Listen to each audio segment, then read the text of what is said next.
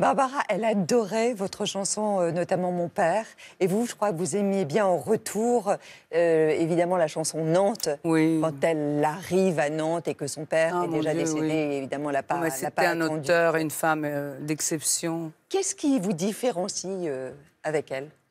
Euh, moi, je dirais ce qui nous rapproche, c'est la sensibilité. Différencie, euh, elle avait un côté très exubérant, euh, un Barbara très joyeux, elle, était, elle avait beaucoup d'humour. euh, euh, moi, je suis plus réservée, mais moi, Et Quelle me était votre relation à toutes, toutes les deux? On avait le même agent. Déjà, on s'est connus par l'intermédiaire de, de notre cher Charlet Marwani. Et euh, on aimait apparemment, mais on, se ne se voyait pas trop souvent non plus. Euh, dans ces métiers, on est tous tellement euh. Est-il vrai qu'elle vous a remplacé un jour à des répétitions? Ça, je ne sais pas. Peut-être. hein, tout est C'est possible. ce, c'est ce que raconte effectivement euh, donc euh, Benoît? Benoît. Il Bah Alors, il a raison, certainement. Certainement, Parce que parce rien que ne vous- lui a échappé. Vous n'étiez pas encore arrivée. Elle était présente dans la, dans la salle et elle a fait les balances pour vous. Et elle, aurait chanté euh, Ça me dit vaguement quelque chose. Qu'est-ce qui fait pleurer les blondes? C'est possible. Donc, ça, c'est dommage quand même qu'on n'ait pas l'image. hein. Oui, ça, c'est clair. Ce sont les 20 ans en fait de la mort. hein. C'est l'anniversaire en fait de la, de la mort de Barbara et David Lelay-Hello a écrit euh, avec une préface de Serge Lama euh, aux éditions Télémac euh, le, le récit de sa vie euh, entrecoupé de, de ses propres mots à, à elle. C'est un, un livre particulièrement intéressant. Vous êtes très connu aux États-Unis? Connu? Euh, non, je pense pas. Vous savez, les États-Unis, c'est tellement vaste. Et puis, à New York, je dirais que bon, euh, c'est une ville beaucoup plus cosmopolite. Il y a des étrangers, il y a un mouvement. Euh, c'est différent. Los Angeles, c'est déjà l'ouest du pays, c'est le sud, on est très tranquille. Et puis, les gens ne remarquent personne. C'est ce que vous aimez aussi aux États-Unis, la, la vie un peu anonyme, c'est la vôtre. Oui, c'est un repos. C'est comme une récréation. Vous vous sentez à l'aise dans l'Amérique de, Trump? Vous savez, moi, je ne vois pas tellement de, différence, sauf que des fois, les sorties, bon, évidemment, intempestives, euh, sont assez choquantes. Euh, à part ça, bon, bah, écoutez, c'est un, grand pays euh, qui a été fondé sur une idée, au fond, l'idée de la liberté. Je pense que ça sera, ce sera très difficile de, déraciner cette idée-là. Parce qu'il y a beaucoup de nationalités, beaucoup de gens, beaucoup de gens qui, ont apporté tellement de choses à l'Amérique, mais toujours autour de la même idée, l'idée de liberté, euh, des gens qui cherchaient justement la liberté d'expression, de, de, euh, de culte, enfin de tout. Donc ça, ça, ça, ça perdurera. Vous sentez encore, vous savez, on, on dit souvent, les États-Unis, euh, tout est possible aux États-Unis. Ben oui. Vous ressentez encore cela? Oh oui. Oh oui, quand même. Parce que vous savez, vous pouvez réussir euh, dans n'importe quel État, au fond. Il n'y a pas de. Enfin, évidemment, New York, euh, Los Angeles, euh, les grandes villes sont des centres euh, en soi, euh, et artistiques et culturels, etc. Mais on peut réussir dans n'importe que- quel État et, euh, et, et rêver. Et tout est. Oui, c'est vrai, tout est toujours possible. C'est ça qui est bien. Depuis votre début, euh, Sylvie, euh, qu'est-ce qui a changé dans votre métier, fondamentalement? Avec maintenant, actuellement, beaucoup de choses en fait. hein. C'est, euh, il n'y a plus ce côté artisanal, euh, côté euh, maintenant tout est marketing, tout est planifié, tout est, tout est répertorié. Il y a des, euh, des sondages. C'est, sans fin.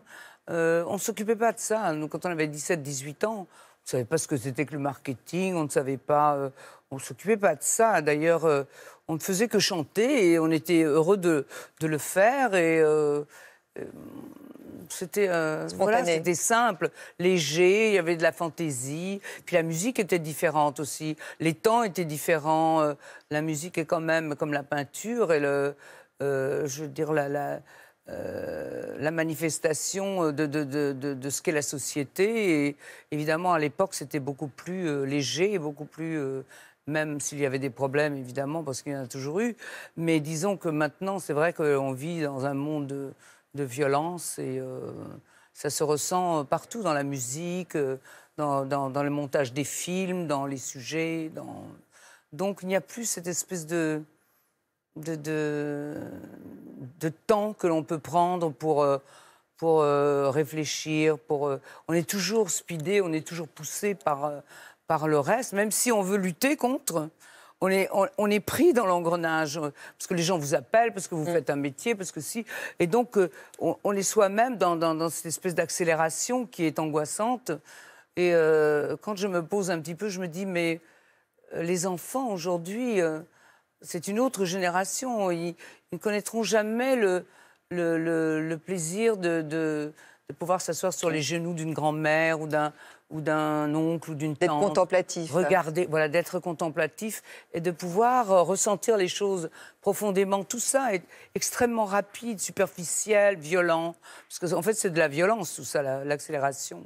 C'est de la violence. Quel rôle elle joue, votre, votre fille, à vos côtés, Darina Comme toutes les mamans qui ont des, des teenagers, oui.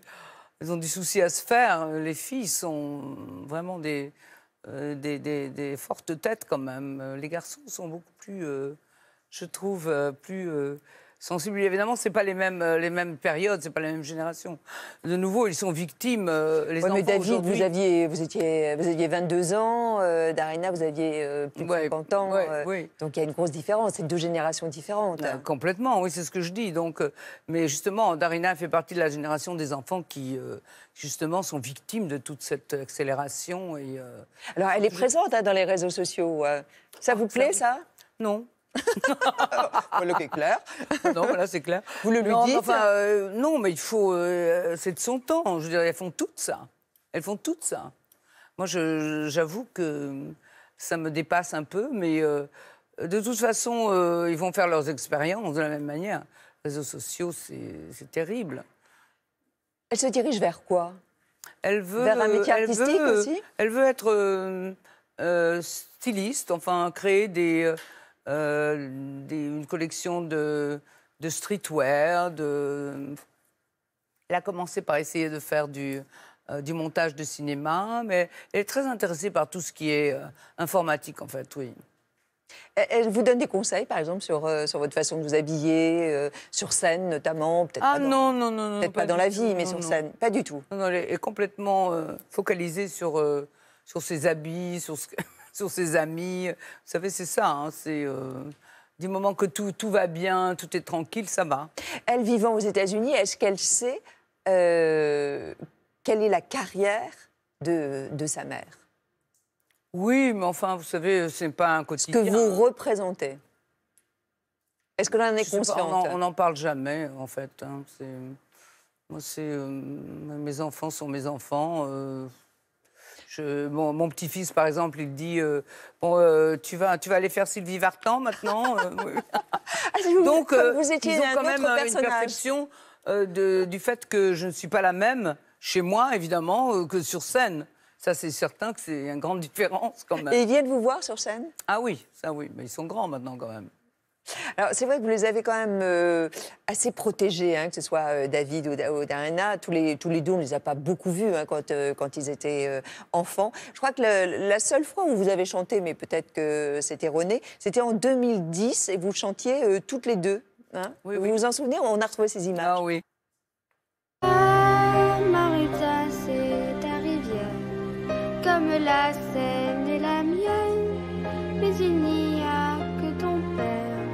maintenant qui s'en souvienne. Quelquefois, de tes dix premières années, il ne te reste plus rien, pas la plus pauvre poupée plus rien qu'un petit refrain.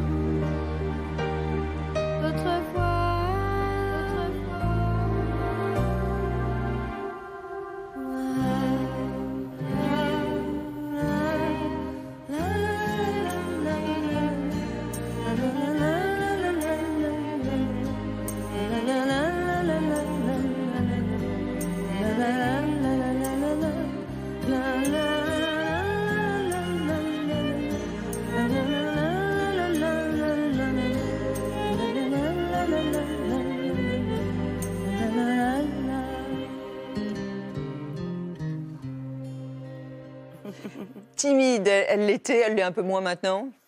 Non, elle est toujours timide. Toujours ouais. Oui. Et elle peut revoir ces images-là, ça lui fait même plaisir. euh, C'était un moment important pour elle? Je ne sais pas. Quand elle, elle- quand elle se regarde, elle, elle trouve euh, qu'elle n'est jamais bien. Mais ça, c'est un peu euh, normal vous- avec tout le monde. mais vous aussi, non? Oui, moi aussi. Voilà, cette famille. Non, voilà, donc voilà. Non, c'est vrai. mais euh, non, elle, je pense que ça l'émeut quand même. Oui. Euh, euh, moi, je regrette de ne pas avoir fait plus avec elle parce que je trouve ça charmant, en fait.